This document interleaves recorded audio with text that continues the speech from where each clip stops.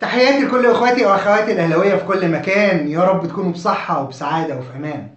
محمد شبانة بيأدب عصام عبد الفتاح أو عصام هناء ملك الإحتواء. بعد التصريحات اللي قالها في كابتن الخطيب وفي النادي الأهلي إن هو كان هيقاضي النادي الأهلي وكان هيقاضي إدارة النادي الأهلي والكابتن الخطيب على إحدى البيانات الخارجة من النادي الأهلي أو الصادرة من النادي الأهلي. وكمان اتكلم على استعداد النادي الأهلي لتجهيز ملف كامل لكشف فضيحة اتحاد الكورة الحالي والسابق في تزوير عقد كهرباء وكمان اللي حصل في الجزيري وازاي يربطوا الخيوط ببعض علشان النادي الأهلي يثبت على أرض صلبة ويقدم شكوى يعني مكتملة الأركان وعنده مستندات كافية للاتحاد الدولي لكرة القدم يثبت فيه إن الزمالك واتحاد الكورة تلاعبوا في عقدين عقد الجزيري وكمان عقد كهرباء وهديكم بالدليل والبرهان وبالاعتراف إن عقد كهرباء تم تزويره. تعالوا نطلع ونسمع ونشوف الأول. محمد شبانه قال إيه؟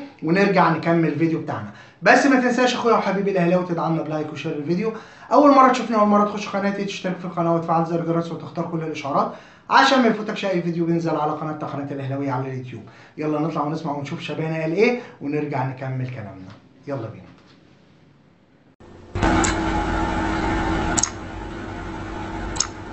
كابتن عصام عبد الفتاح رئيس لجنة الحكام عمل تصريحات وحاجات كده بس استوقفني تصريح غريب جدا.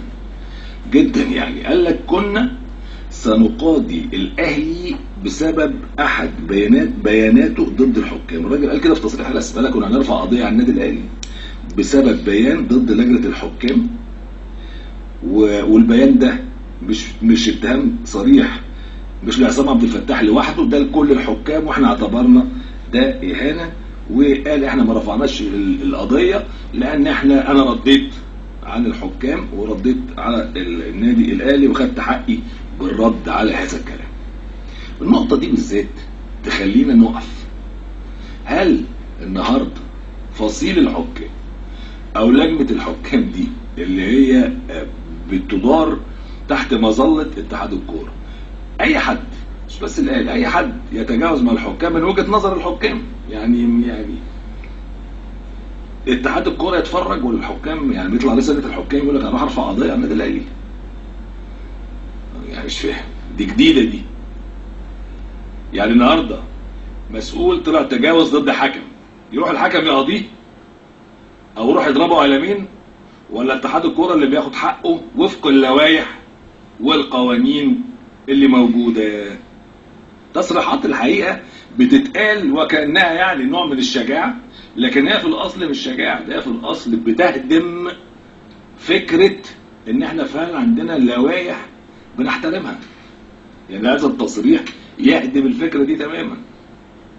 يعني أنت حكم أو رئيس لجنة الحكام هل لما حد يغلط فيه اللوائح تاخد له حقه ولا يروح المحكمة يقاضي؟ ده يعني كلام كده بيتقال عبث.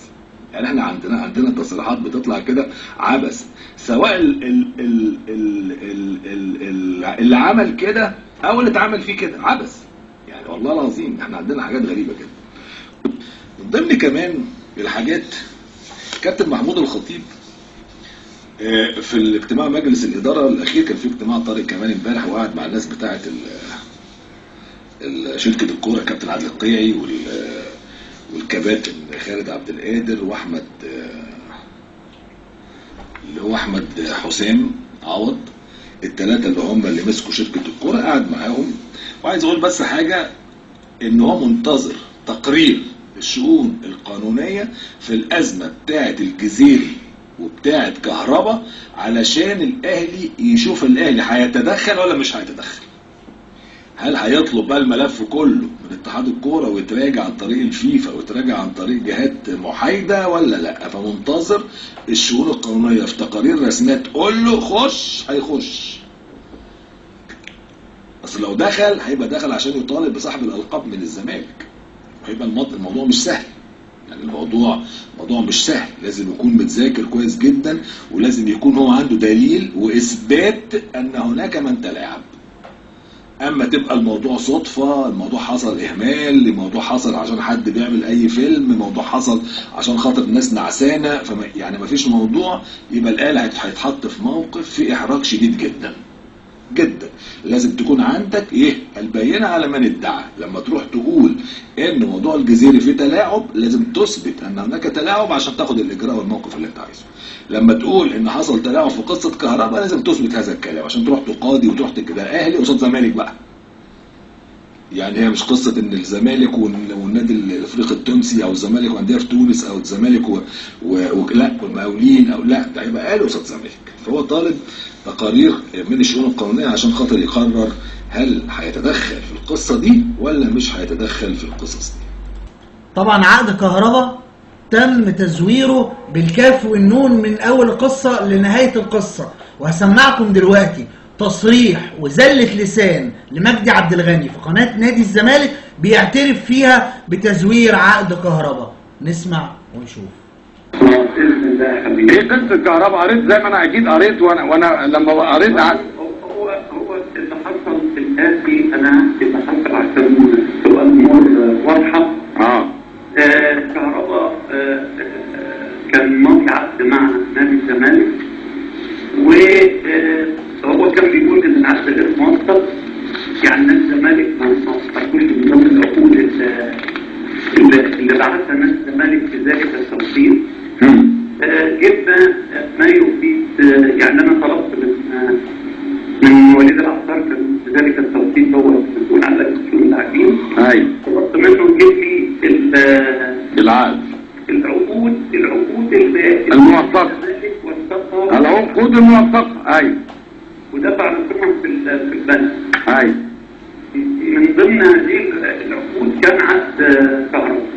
طبعا أصبح العقد آه، بصرف النظر بقى هو الكهرباء كان ماضيه آه، من غير آه، تاريخ. يعني من غير تاريخ أو مضيف تاريخ مع طبعا مع, مع, يعني ما نعرفش.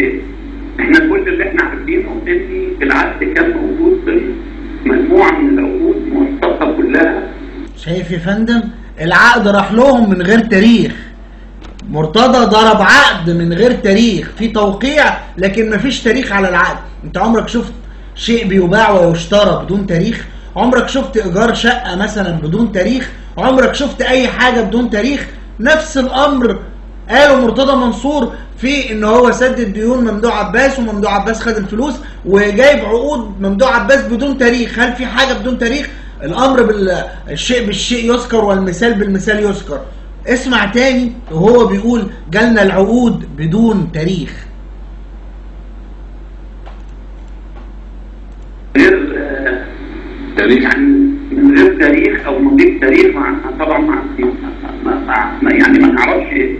إحنا كل اللي إحنا عارفينه ان العقد كان موجود ضمن مجموعة من العقود موثقه كلها لصالح نادي الزمالك في ذلك ال- التوقيت وبالتالي آه، آه، العقد وفق في ال- في التاريخ المحدد. ودفع الرسوم المطلوبة من لصالح اتحاد الكورة في البنك وانتهت القصة على كده. وبدأ بقى يبقى آه، يعني كهرباء بقى تافر الزمالك قدم هذه العقود للاتحاد الدولي والاتحاد الدولي اقر هذه يعني العقد نتكلم عن عقد الكهرباء بقى مش كلها. قدم العقد و... و... و... و... خد قرار غرامة كهرباء. ده نتيجة للعقد اللي نادي الزمالك للاتحاد الدولي. غرامه وإيقاف. آه ده ده ال- القرار. بالظبط طيب. أنا كنت متوقع متوقع غرامة طبعا في الإيقاف حين دفع الفلوس. آه. ما يتم ما يتم دفع الغرامة لقرار الاتحاد السحر. يبقى المسؤول قاعد من هنا ويخرخر ويعترف ويقول حاجات. اللي في تزوير لكن قال إن توقيع العقد كان ما فيهوش تاريخ.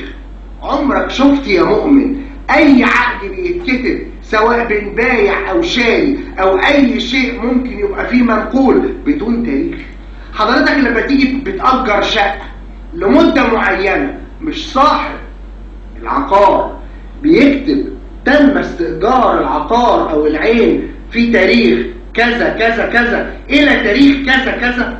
هل في عقد مفتوح من غير تاريخ؟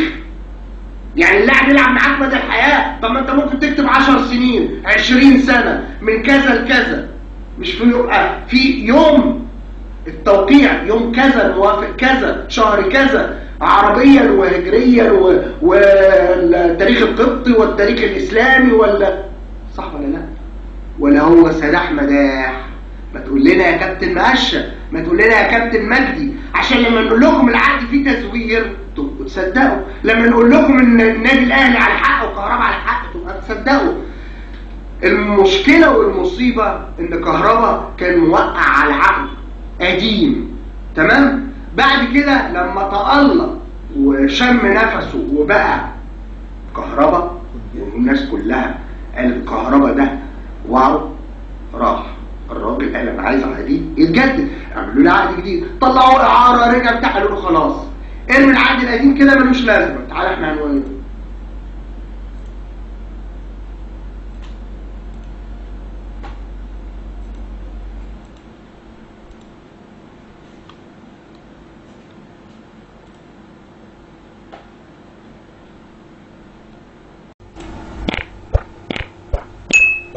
زي ما حضراتكم سمعتوا كده البداية اتكلم على عصام هناء اللي مرتضى كان بيمسح بيه الأرض يوماتي في قناة الزمالك وفي القنوات الأخرى ويقول لهم عصام ده مرتشي عصام ده فيه عصام ده فيه جهاد جريشة كذا ده مش عارف ده فيه كذا ده إبراهيم نور الدين كذا. كان بيطلع يمسح الأرض بكل الحكام. كانت فين جرأتك يا عصام يا عبد الفتاح وردودك لما مرتضى كان بيمسح بيك الأرض وقال عليك عصام هناء؟ وأنا مش هسكت لك وأنا مش هسيبك. يا عصام يا هناء عشان خاطر هناء. مش كان بيقول الكلام ده. فرح بس تعمل ذكر على النادي الأهلي عشان عارف إن النادي الأهلي مش هيرد وعارف إن النادي النادي الأهلي مش هي مش هيرد عليه ولكن مرتضى منصور كان بيمسح الأرض بيه ده كان عيني عينك يقول الحكم ده مرتشي والحكم ده قابض والحكم ده ملاكي. ده قال على إبراهيم نور الدين خدام نادي الزمالك إن هو ملاكي للنادي الأهلي. قالها. ما طلعتش ليه ت- اتنحررت واتكلمت يا عصام يا هناء. ما اتكلمتش. فإن أنت عايز تروح تقاضي النادي الأهلي ده كانت جماهير النادي الاهلي كانت علقتك من ولا بلاش. كانت علقتك كده. جماهير النادي الأهلي. مش مش مرتضى اللي مسح بيك الأرض تتغافله. وجماهير نادي الزمالك لما كانت بتمسح بيك الأرض تتغافلها وتمسك في بيان النادي الأهلي قال إن في شبهة فساد. آه طبعا في شبهة فساد. مش في شبهة ده الفساد مستشري في اتحاد الكورة ومستشري في الرياضة المصرية ومستشري في النتائج والفار الملوث. والحالات التحكيمية اللي إحنا جبناها مرة واثنين وثلاثة وعشرة. لكن ماشي هنعديها هنيجي بقى في الموضوع الأهم وهو عقد الجزيري وعقد الكهرباء. وبالدليل وبالبرهان القاطع أنا أثبتت لكم إن مجدي عبد الغني اعترف اعترف لمرتضى إن اعترف في قناة مرتضى وقناة نادي الزمالك إن العقد كان بدون تاريخ. طب هو إزاي العقد أصلا يبقى بدون تاريخ؟ ده مش دليل على التزوير. في توقيع على بياض. في توقيع توقيع على ورق أبيض وتحط التاريخ اللي أنت عايزه والمده اللي أنت عايزها. ده ده دليل دليل إثبات في إدانة نادي الزمالك وإدانة مرتضى منصور إن العقد كان مزور وكان في عقدين مع مرتضى. قدم عقد والعقد التاني لأ. في فرق يا جماعة بين رغبة لاعب والعقد. فاللاعب ممكن يكون بحسن نية وقع على عقد وما كانش فيه تاريخ. حتى نسي يكتب التاريخ مرتضى منصور وبعته لاتحاد الكورة بدون تاريخ. مش المفروض واجب على اتحاد الكورة يقول له العقد ده غير سليم لأنه بدون تاريخ لازم يبقى مجتمع. يعني تقدر تقدر حضرتك تقدم في أي وظيفة حكومية من غير ما تحط رقم البطاقة مثلا؟ أو مثلا يبقى مطالبين آه، يعني حاجة معينة وأنت تتغافلها هيرجعوا لك الورق يقول لك أنت ناسي البند ده. املى أي استمارة على النت هيقول لك النقطة دي لا لازم تملاها. ما ينفعش إن حاجة بدون تاريخ بدون حاجة رسمية يثبت اليوم اللي تم فيه التعاقد واليوم اللي هينتهي فيه التعاقد. فده دليل دامغ على التزوير من اتحاد الكورة ومن مجدي عبد الغني ومن الجماعة اللي كانوا موجودين أيام آه، عقد الكهرباء وتزويره عقد الكهرباء كمان عقد الجزيري اتزور علشان ما يدفعش قيمة المليون جنيه أو 600 ألف جنيه لفريق ال- الفريق بتاع الجزيري القديم اللي هو التونسي اللي المفروض يدفع له حق رعاية أو كده. فاللي أنا عايز أقوله أقوله لكم إن إحنا عايشين في مستنقع فساد. إذا كان شبانه يخجل إن هو يت- يتكلم على عصام عبد الفتاح ويقول لك ده يعني هراء أو هزل من اللي قال من اللي قال أو اللي قال في حقه لا ده الهزل الأكبر يا أستاذ شبانه إن مرتضى منصور مسح بكرامة عصام عبد الفتاح أو عصام هناء الأرض وهو ما اتكلمش وهو ما فتحش بقه. بس هو كده. يعني في ناس إذا كانتش هتتضرب بالجزمة ما ما, ما, تحترمكش لكن اللي بيخاطبك باحترام وبأدب وبذوق وبأخلاق هو ده اللي تطلع عايز تعمل فيه قضايا وفيه شكاوي وهو أصلا يعني المفروض يختشي ويتوارى خجلا من الفساد المستشري اللي كان في عهده. انتهى الفيديو بتاعنا. ما تنساش حبيبي واخويا الاهلاوي تدعمنا ب like و share الفيديو. اول مرة تشوفني اول مرة تخش قناتي تشترك في القناة وتفعل زر الجرس وتختار كل الاشعارات عشان ما يفوتكش أي فيديو بينزل على قناتنا قناه الأهلاوية على اليوتيوب. بشكركم مرة واثنين وثلاثة وعشرة. كان معاكم أخوكم هاني الشرقاوي. السلام عليكم.